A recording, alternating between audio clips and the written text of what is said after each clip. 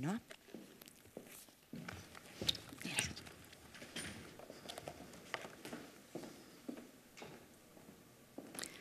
Egunon guztioi, buenos días a todos y todas, eta eskarrik asko etortzeagatik. Gipuzkoa Industrisek 2018 kongresura gonbidatu zaituztegu, lehenengo kongresua ziberseguridade industrial alorrean. Good morning, John, Luigi, Benjamin.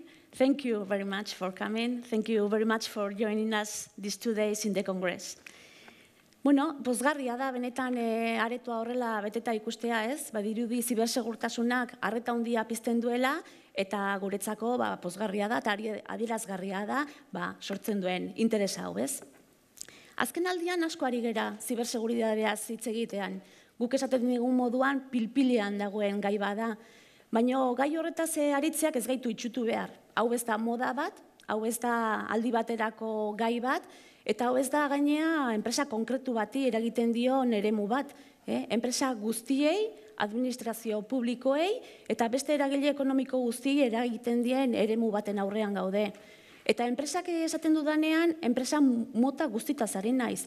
Txiki, zein handi, enpresa teknologikoki aurreratuta daudenak, ezain aurreratuak, Eta mm, txipak, zirkuitoak, torlojuak edo erraminta makinak egiten dituzten, ekoizten dituzten enpresetaz ari gera.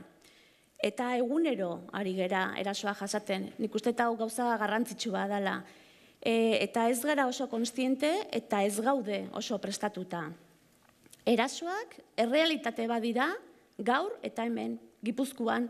Eh? Ez da ez gara beste leku bat eta zitzeiten, gipuzkoaz ari gera, eta gaur eta hemen egunero ditugu erasoak.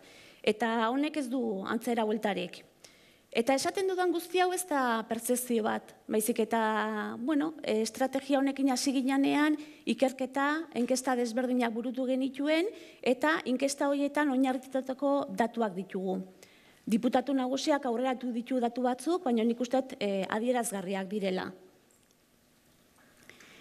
Hauen arabera, Gipuzkoako enpresen euneko larogeita lauak bere koizpen sistemak konektatuta ditu, kanpoko sare publikoetara edo korporatiboetara. Euneko irurogeita marrek ditu kanpo konexioak.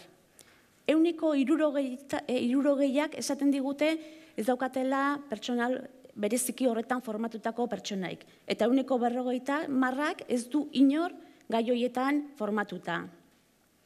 Y de la veintena de empresas monitorizadas por encargo de la Diputación en un estudio reciente, nos constatan que la mayoría de ellas han vivido eventos de alto riesgo.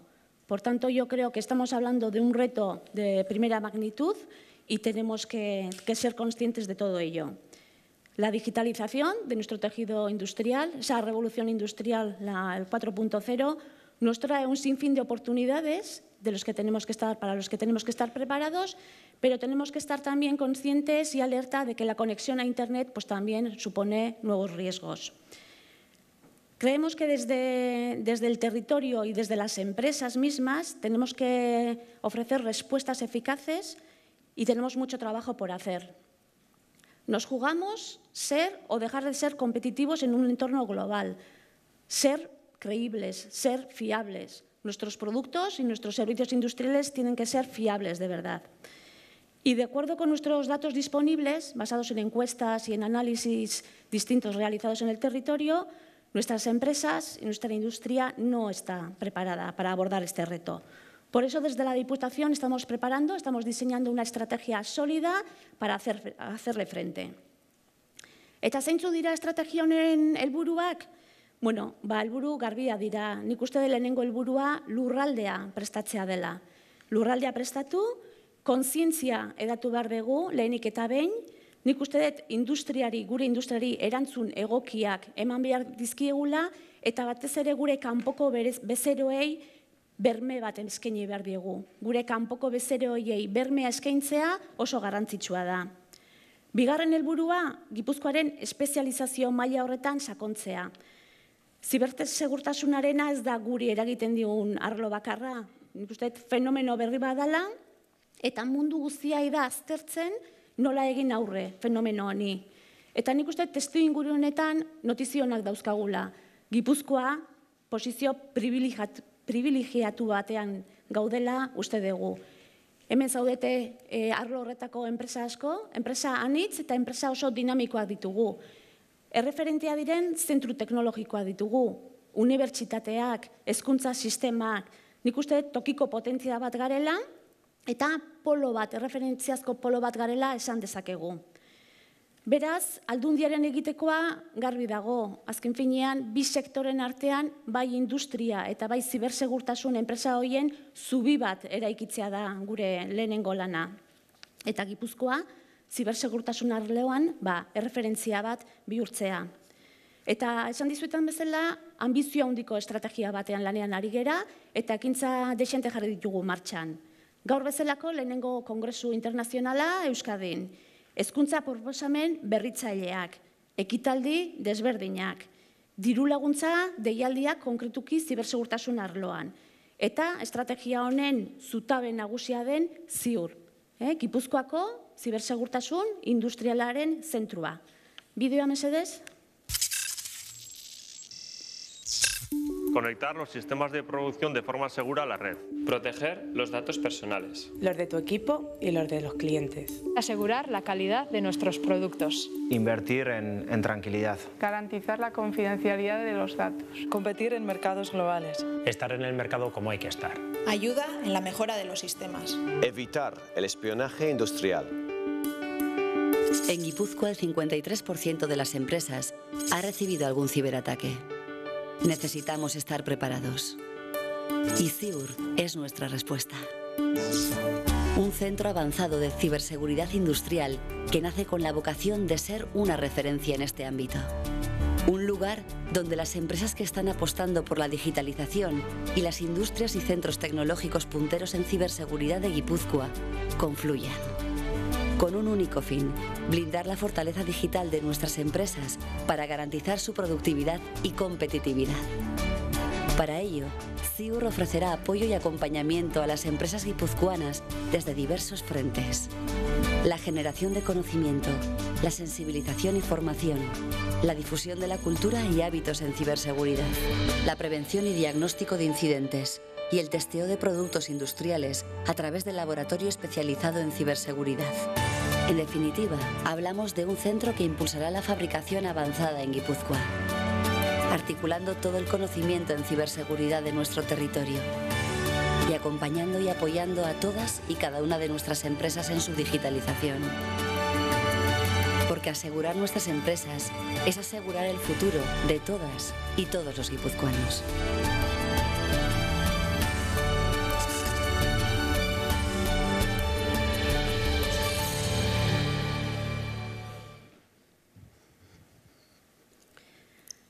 Ziur, Gipuzkoako zibersegurtasun industrialeko zentrua. Izenak, jarri diogun izenak e, gure estrategiaren ezaugarri nagusiak biltzen ditu. Alde batetik, gure industria ziurra izatea nahi dugu. Izen Euskalduna da, hemengoa, Gipuzkokoa delako, eta industriari erantzun hori emateak gure zutaben nagusia bihurtzen duelako. Azpiegitura, donostian izango da, zuatzukoko, zuatzu parke enpresarialean, ¿Y cuál, es, va, a ser, cuál va a ser la aportación principal de CIUR? Pues poner a disposición de nuestra industria, de las empresas de ciberseguridad y de los centros de los agentes de conocimiento recursos, instrumentos que permitan fortalecer ese posicionamiento competitivo en ciberseguridad. Va a poner su foco en la industria y en el corazón, en el corazón de nuestro tejido productivo, como eh, ha, citado el diputado general, la industria supone el 27% de nuestro Producto Interior Bruto. Queremos que lo siga siendo así y tenemos que seguir reforzando y, fortaleciendo ese posicionamiento. CIUR desarrollará cuatro ámbitos de trabajo. La generación y transferencia de conocimiento, la sensibilización y la formación especializada, la difusión de buenas prácticas y herramientas de intervención. Auda, lau zutabe hauen inguruan, jarduera anitzak burutuko ditu ziurrek.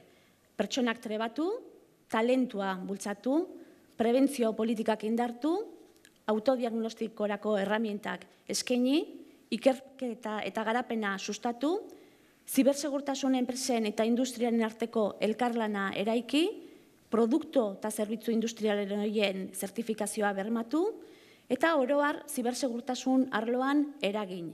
Eta beti ere kontutan eukita lurraldeko eragileak, beraiekin elkarlanean, eta beti ere kontutan eukita ba, eskaintza edo alderdi pribatua errespetatuko deula.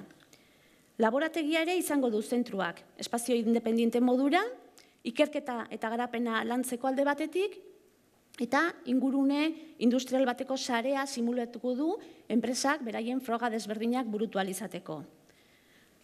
Hau dena da, ziur zer dan, ziurren edukia, baina garrantzitsua da aipatzea ere nola egingo degun. Eta horretarako, etorkizuna eraikiz gure programaren ba, gobernantza eredua kontutan izango dugu, elkarlanean egin nahi dugu eta horrela egiten ari gera. Esan dugu alde batetik Gipuzkoa sekulako potentzia dela zibersegurtasun arloan. Esan dugu Gipuzkoa nola ari den lanean, sektorearekin elkarlanean. Eta beraz, esan dezakegu ziurrek horrela, sarean egingo duela lan, zibersegurtasun eh, arloko enpresakin, gure ezagutza agenteekin, eta hezkuntza zentruekin. Eta elkarlan honetan, ba, bereziko garrantzitsua dute beste erakundiet, beste administrazioek. Esaterako, badakizue, Donostiko udala ziur fundazioaren parte izango dela. Eusko jarraritzarekin, lanean ari gera, eta baita nazioartean ere, EXO, European Cyber Security Organizationeko kideak dira, lehen gurtetik, hemen daukagu bere lendakaria, Eta nik uste gaurko topaketa hori ba, nazioarteko lankidetza horren adierazle ona dela. Egutegiari begiratuta, bueno, ba, gure aurrikuspenen arabera, esan dezakegu e, azpiegitura e, lokalak udazkenerako prest izango ditugula, eta urrengo hilean osatuko dela ziur fundazioa. Eta datozen egunetan aurreratuko dugu, zein den ja, zen izango den zuzendari nagusia, eta beraz, bueno, bidean gaude, martxan gaude, baina puntu guzti hauekin ba, asko azeleratuko dugu gure prozesua. Eta esan dezakegu bidea egiten ari gerala. E, aipatu bezala, zibersegurtasun arloa lantzen hasi ginenean, ikerketa, inkesta, monitorizazioa desberdinak egin ditugu, gure lurraldeko enpresekin, eta e, hauen ondorioz badaukagu lurraldeko ikuspegi orokor bat. Eta ikuspegi orokor hori kontutan eukita, diseinatu dugu deialdi berri bat. Ziberseguridade arloan, konkretuki, zuzenduko dan arlo berri bat, deialdi berri bat.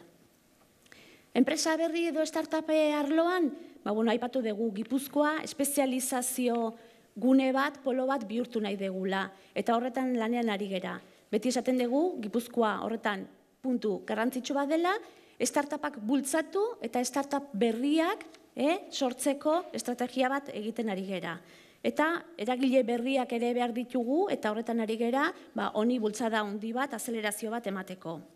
Hezkuntzaren arloan, bueno, goi mailako heziketa zikloa eta masterra antolatu ditugu, bai Zubiri Manteo eta Mondragon Unibertsitateekin batean. Eta garbi dago, nazioartean erreferentzia bihurtu nahi baldin badegu, dauden enpresak indartu nahi baldin baditugu, berriak sortu nahi baldin baditugu, ba ezinbestekoa da, ezinbestekoa da talentuaren apostu horri eustea. Eta frutua jasotzeko erein egin behar da lehenengo. Beraz, uste garbi daukagula eta horretan jarraituko dugu gure apostua ba, ezkuntza, formazio espezializatu horretan. Eta bueno, beste lankidetza lerro desberdin batzuk ikerketa zentruekin elkarrekin lanean gabe, gaude, ikerketa eta garapeneko lerroiek bultzatuz, eta baita lerro berriak ere sortuz. Eta nazioartean esan bezala, e, EXO, European Cyber Security Organizationeko e, arlo horretan erakundean lanean ari gera. EXO 2006an sortu zen, Europako berrogeita mar eragilean artean, enpresa txiki, enpresa haundi, erakunde, unibertsitate, bueno, e, e, kide asko ditu, eta nik uste, ba, bueno, nazioartean ateak zabaltzen dizkiola ziurri, munduko proiektzio hori ematen dio, eta bueno, munduko nazioarteko sare eta dinamika hoietan sartuta dago, jada. Beraz, nik uste bueno, ikusten dezue bidea egiten ari gera, martxan gaude, eta Gipuzkoako foru aldundiko zibersegurtasun estrategionetan ziur da zutabe nagusia. Eta esan bezala, etorkizuna eraikitzen ari gera, Gipuzkoako etorkizuna eraikitzen ari gera, eta garrantzitsua da, hau dana zuekin batera egitea. Eta nik uste zibersegurtasun erronka honi ba elkarrekin heldu behar diogula. Eta daukagun argazkia ikusita, eh, daukagun posizionamentua eta daukagun potentzial guzti hori ikusita, ziur nago, eh, erronka hau, eh, bueno, ba, arrakastatxua izango degula eta denon artean aurre egingo diogula.